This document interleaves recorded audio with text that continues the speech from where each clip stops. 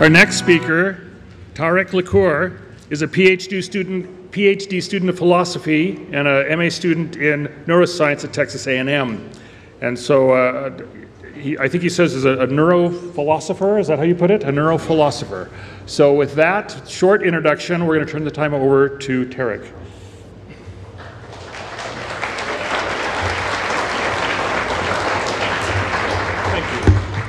Just a cl- so do I That's a clicker. Do I hit the forward one? Just, just press that for forward. Okay, great, thank you. Forward and then backwards if you need it. All right, thank you. Right. Just wait for the PowerPoint to come up. Okay. All right. Um, well, I'll just warn you ahead of time. I'm a high counselor, so if I put you to sleep, it's uh, you have been forewarned. Before I uh, start my talk, I want to uh, talk a little bit about the men that are on this um, slide.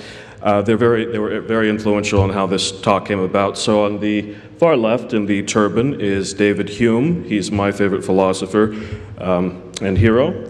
Uh, I think the best philosopher of all time, but people will dispute that wrongly. Um, to his left is uh, J.L. Mackie. He's one of the uh, great atheist philosophers of the 20th century. He's another hero of mine, not for that reason, obviously, but still a great thinker, and you'll uh, hear from him in this talk. Uh, next to him is Richard Swinburne. Uh, Richard Swinburne is a professor emeritus at Oxford, uh, perhaps the greatest uh, Christian philosopher still living. Um, both atheists and uh, Christians hold him in very high regard. In fact, Mackie, when writing his book, The Miracle of Theism, the person that he basically is fighting against the whole time is Swinburne. And uh, sometimes he even says, yeah, I, he just wins on that one. Um, and on the uh, far corner there is Antony Flew. Uh, Flew was uh, an atheist uh, as well, uh, but he converted to deism at the end of towards the end of his life, and as he was the world's most notorious atheist, that made all the rounds back when that happened. So, all right. In the early part of this millennium, the world was introduced to the so called New Atheist, a collection of individuals, including, but not limited to, evolutionary biologist Richard Dawkins, the late journalist Christopher Hitchens, and neuroscientist Sam Harris. While the New Atheists gave very little to the world in terms of arguments for atheism, one will search in vain for any such arguments in the writings of Harris or Hitchens. Dawkins at least makes an attempt, albeit a very poor one, in The God Delusion. They did have the following effect on the world at large. Rather than seeing the existence of God, existence or non-existence of God as something that an advocate on either side would have to defend, the burden was shifted to the theistic side as having the burden of proof, while the non-believers simply lacked belief in the proposition that God exists, so there was no burden of proof on their side of the ledger. As Harris writes, quote, atheism is not a philosophy. It is not even a view of the world. It is simply a refusal to deny the obvious. Unfortunately, we live in a world in which the obvious is overlooked as a matter of principle. The obvious must be observed and reobserved and argued for. At this point, he probably should have figured out this wasn't obvious. That's why he was arguing for it, but I guess he missed that part.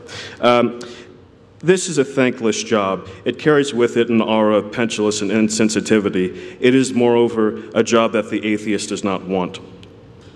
Dawkins take, takes this idea a bit further, saying that we are all atheists as we do not believe in certain gods, so an atheist just goes one one god further. This is a view very different from that of the atheist philosophers of the 19th and 20th centuries.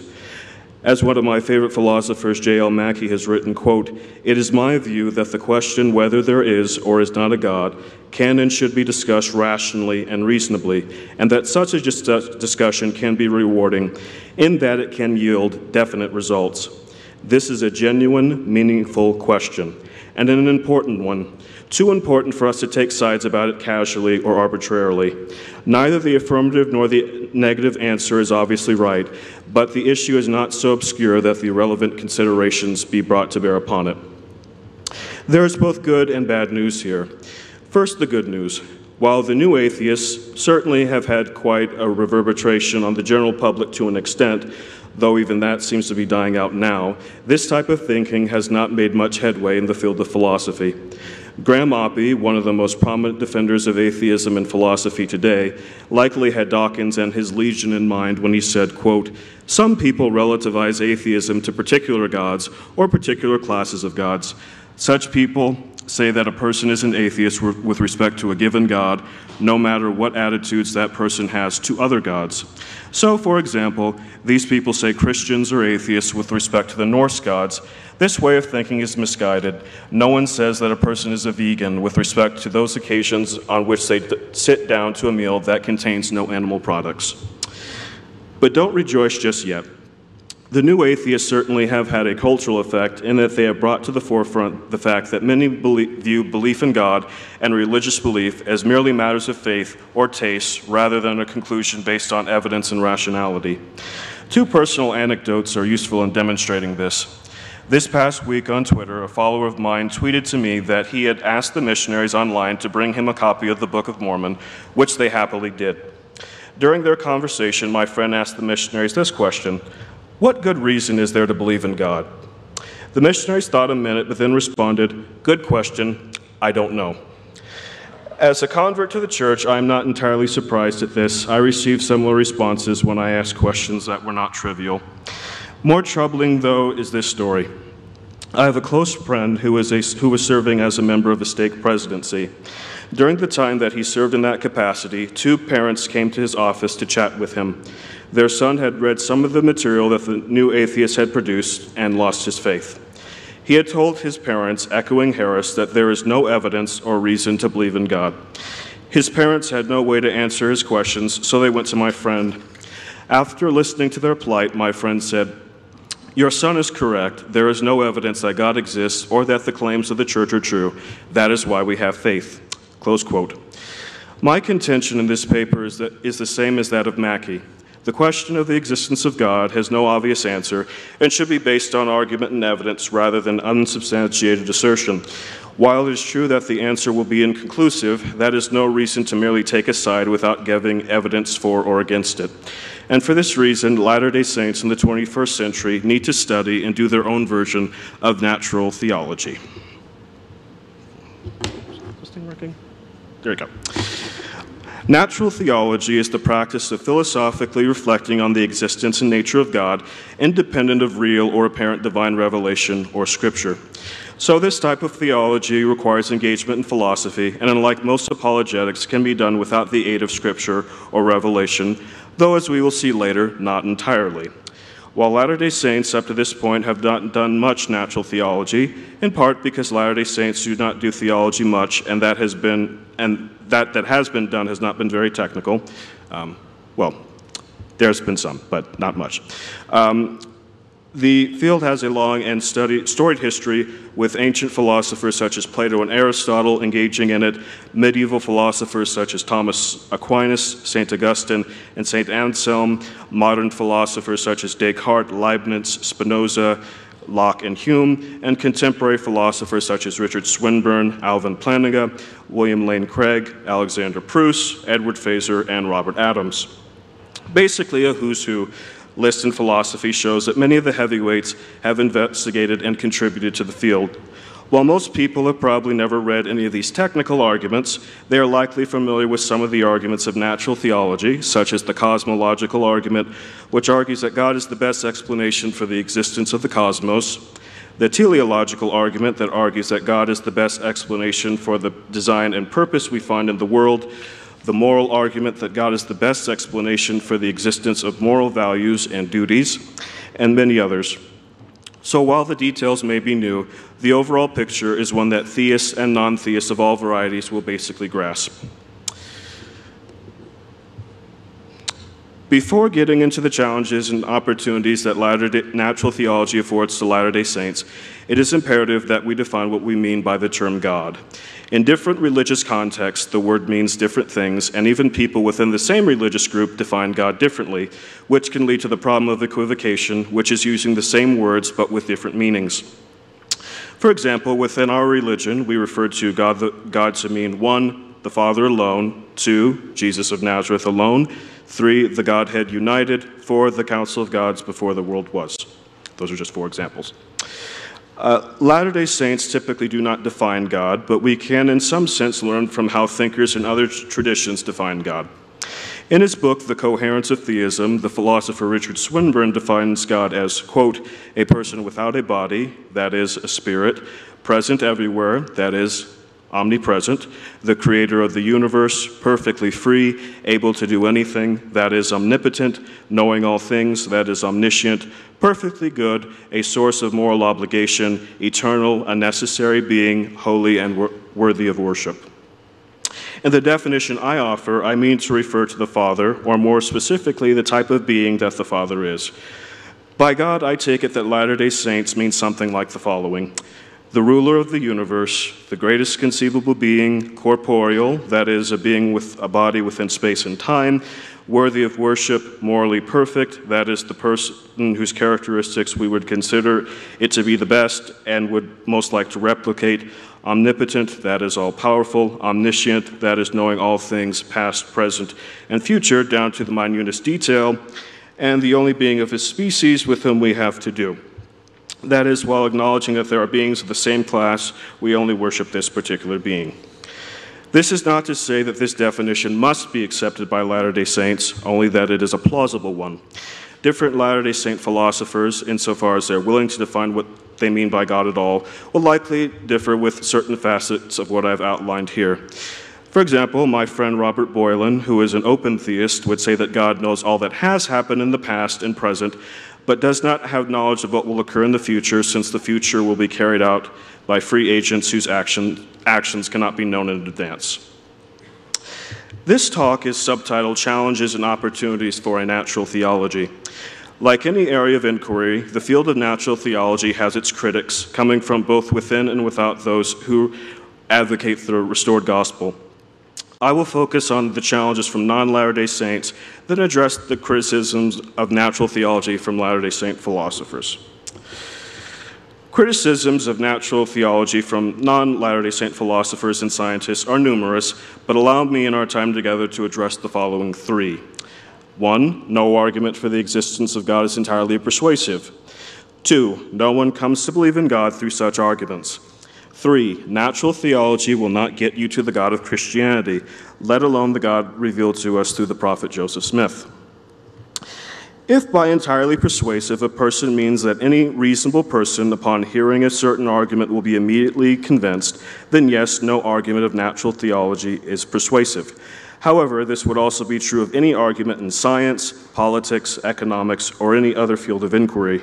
There will always be rebuttals and counters to certain arguments, and new evidence may come that overthrows what you might have thought was firmly established. For example, the move from quantum from uh, to quantum mechanics in the 20th and 21st centuries after many people thought that Newton had completed physics in the 17th and 18th centuries. What you aim to do in the case of natural theology, as with anything else, is to build a good inductive case, a case that leaves your proposition as being more plausible than its negation. To quote Mackie again, where several different arguments bear upon the same issue, they may have a cumulative effect. It will not be sufficient to criticize each argument on its own by saying that it does not prove the intended conclusion. That is put it beyond all doubt. That follows at once from the admission that the argument is non deductive, and it is absurd to try to confine our knowledge and belief to matters which are conclusively demonstrated by sound deductive arguments. The demand for certainty will inevitably be disappointed, leaving skepticism in command of almost every issue. But also, it will not be sufficient to say, though it may be true, that each argument on its own leaves the conclusion less likely than not, leaves the balance of probability against it for a set of arguments of each, which on its own, this adverse comment is true, may together make the conclusion more likely than not. This is plain in a legal case, where a party may rely on the joint effect of a number of considerations, each of which on its own would be too weak to justify a decision in that party's favor, but whose combined effort may justify such a decision. This holds equally in historical and scientific contexts. It is very likely that most people who are theists, whether they be Latter day Saints or not, have come to their belief in the existence of God have not come to their belief in the existence of God due to rational argument and evidence. It is likely they simply accepted God's existence due to the culture and family in which they were raised and didn't give it much thought beyond that. Belief in God to such a person is like speaking their mother tongue or using their limbs. It is something that is a given until there's good reason to question it. Having said that, there are those who come to believe in God's existence due to arguments, and these people cumulatively, cumulatively have a mass effect upon the world at large. Allow me to use three examples Antony Flew, Alister McGrath, and myself. The name Antony Flew may not ring a bell amongst the non philosophical crowd, but throughout his career, he was considered the leading defender of atheism in the English speaking world. In fact, the new atheists, in a way, are descendants of Flew, as Flew's primary argument was that we should presume atheism until empirical evidence of God comes along, and that atheism is simply a lack of belief in God rather than the belief that there are no gods. However, like a good philosopher, Flew was never dogmatic. He followed the Socratic maxim of following the evidence where it leads, even if it leads to a place that we are not comfortable with. After years of contemplating, Flew became a theist at the age of 81, crediting thinkers such as Richard Swinburne for his conversion. Flew died not long after converting, but he did say he was open to claims of religion at the end of his life, though he did not believe in an afterlife. If natural theology can convert such a man as this, it is nothing to scoff at. McGrath, for those who know him, is a professor of theology at Oxford. However, he began his career as a biophysicist. Like Dawkins, McGrath assumed that a serious scientist would not believe in God. He later read works of theology that gave him reason to do serious rethinking, and is now perhaps the heir of C.S. Lewis in that he is an atheist who has turned to Christianity late in life, in part as a result of natural theology, among other things. Speaking for myself, I've always been a bit of a skeptic. For those who disbelieve me, I recommend you talk to Stephen Smoot. I grew up in a non denominational Christian church and was skeptical of the existence of God, the afterlife, and the resurrection of Jesus for most of my youth and into my teenage years. However, I was fairly conversant with natural theology, and this gave me reasons for belief rather than just, decide, than just deciding to believe. One instance of this was reading David Hume's dialogues concerning natural religion and the natural history of religion, where Hume makes the point that if the argument to design is correct, it is more likely that multiple finite deities were responsible for the creation of the cosmos than just a single mind, a view that is echoed by John Stuart Mill in his book, Three Essays on Religion, and not unlike what has been revealed to us in the Book of Abraham. I am no Flew McGrath, but I have been able to show my philosophical friends that a naturalistic version of theism is per- perfectly consistent with the current direction of analytic philosophy and modern science. So, natural theology is something that can keep doors open that otherwise would be closed. There is no one size fits all solution. Finally, it is true that natural theology alone will not get you to the God of Christianity or the God of the Restoration. This point is made by Immanuel Kant when he discusses the cosmological argument in his magnum opus, A Critique of Pure Reason. Quote, the proof could at most establish a highest architect of the world, who would always be limited by the suitability of the material on which he works, but not a creator of the world to whose idea everything is subject, which is far from sufficient for the great aim that one has in view, namely that of proving an all sufficient original being. If we want to prove the contingency of matter itself, then we should have to take refuge in a transcendental argument, which, however, is exactly what was supposed to be avoided here. A similar point is made by Hume in the aforementioned dialogues. Quote, if we see a house, we conclude with the greatest certainty that it had an architect or builder, because this is precisely that species of effect which we have experienced to proceed from the species of cause. But surely you will not affirm that the universe bears such a resemblance to a house that we can with the same certainty infer a similar cause, or that the analogy is here entire and perfect. The dissimilitude is so striking that the utmost you can pretend to is a guess, a conjecture, a presumption concerning a similar cause. Hume's point is that since the universe is a singular case, it is not clear that we can infer, confer, infer by analogy to the nature of its cause, though he certainly believes in the dialogues and elsewhere that the cosmos had a cause, which he is happy to call God. Kant's point is different in that while he thinks the cosmological argument works, it does not get you to the type of being that classical theists consider to be God. that is, an omniscient, omnipresent, omnipotent, immaterial mind or consciousness. This is of no concern to Latter day Saints. The type of God that Kant concludes follows from the cosmological argument is very similar to the God I've outlined previously. However, both he and Hume missed the mark here.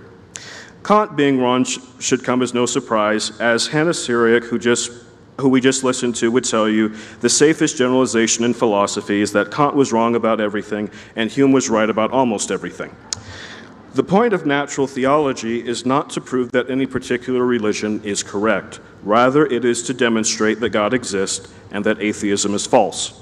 So, for an argument of natural theology to be successful, there is no need to connect it to the claims of any revealed religion because it is not concerned with that primarily.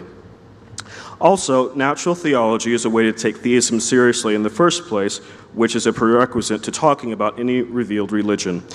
If God does not exist, then all revealed religions are false, as there is no one to reveal them, and they are the artifacts of human ingenuity and cleverness.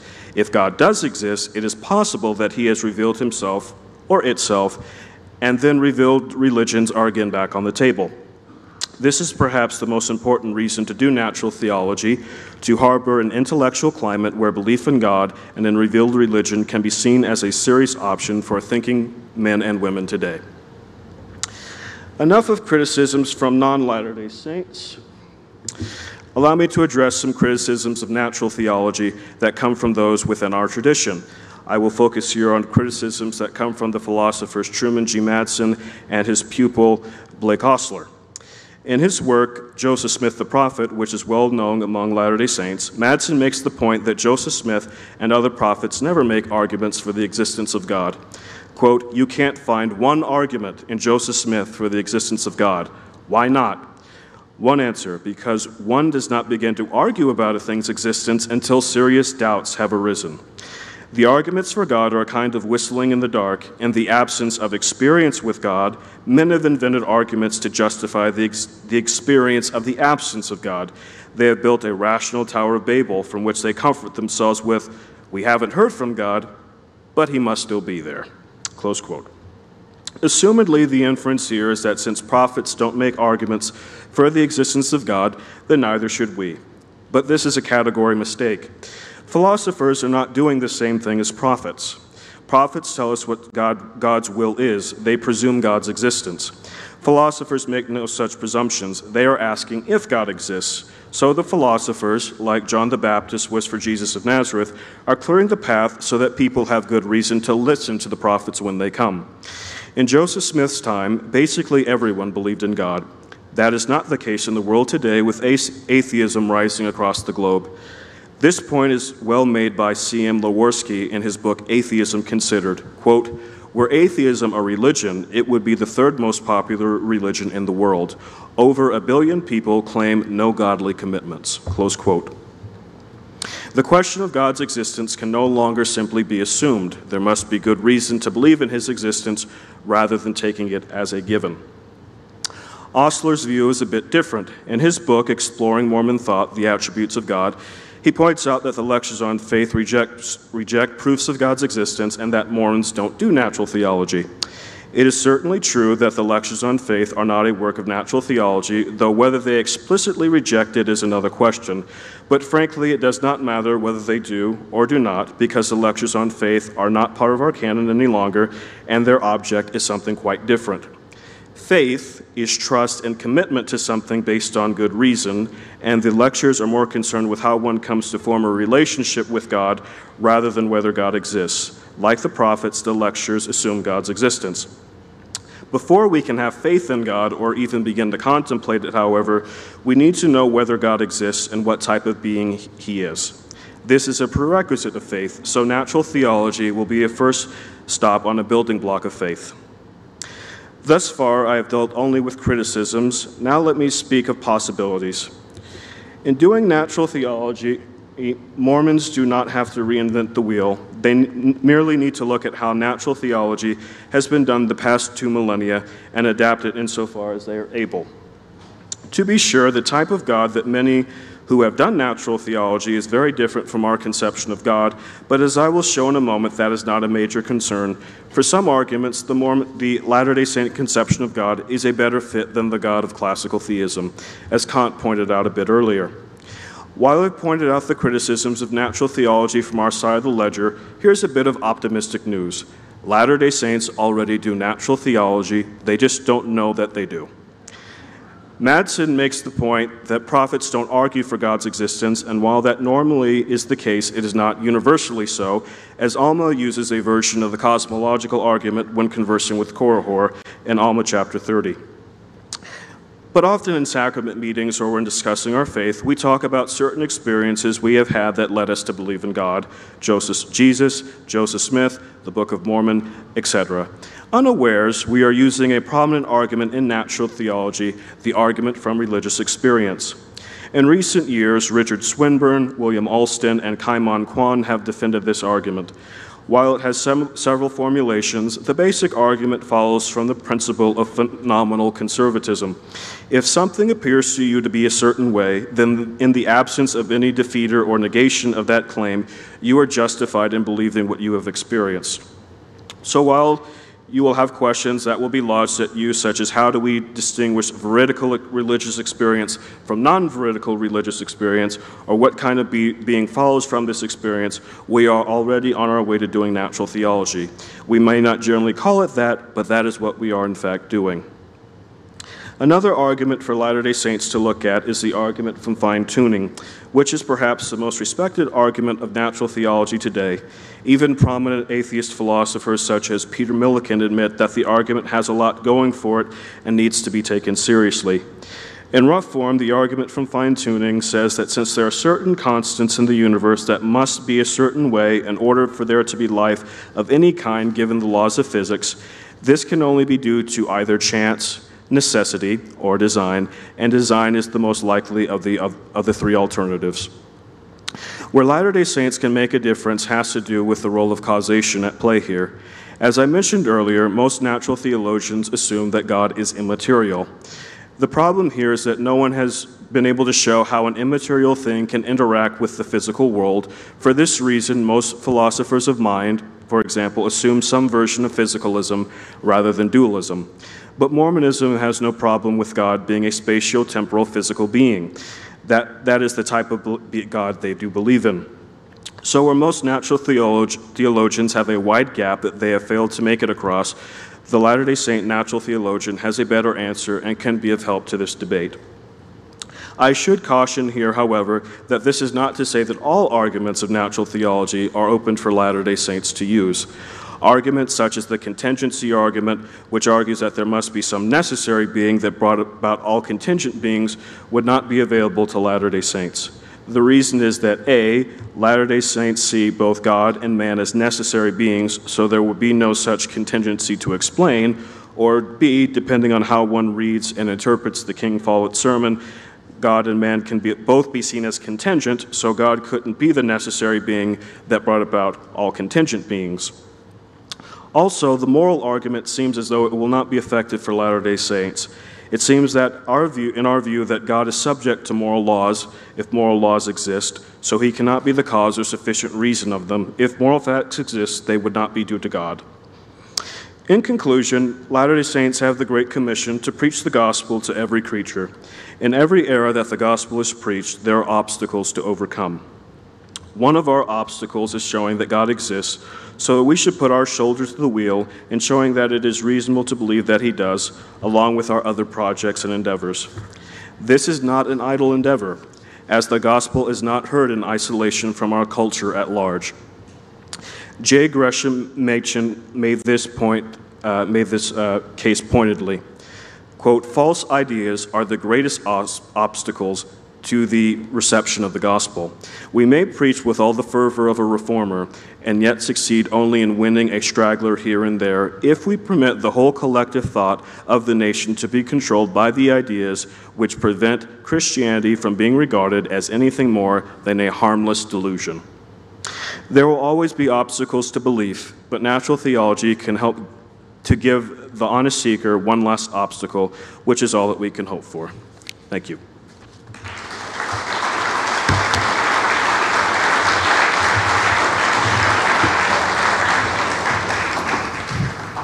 Thank you, Tarik. Uh, so, I guess as, as you were giving your talk, I was, I was thinking about our, our current culture, and it seems like, you know, if you were having this conversation back in uh, the 1970s, even, or the 1960s, I think there was a presumption of God. And yet, today, do you find that, do you, do you think among our, the people in, in the 20 to 35 age group nowadays that the biggest presumption is there is no God?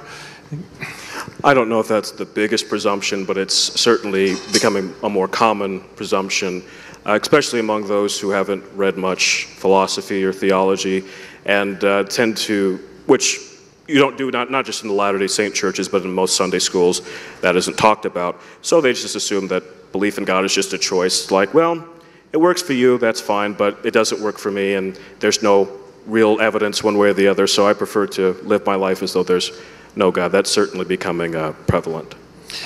So here's a question Do you see spiritual experiences as a valid way to come to a belief in God? Yes.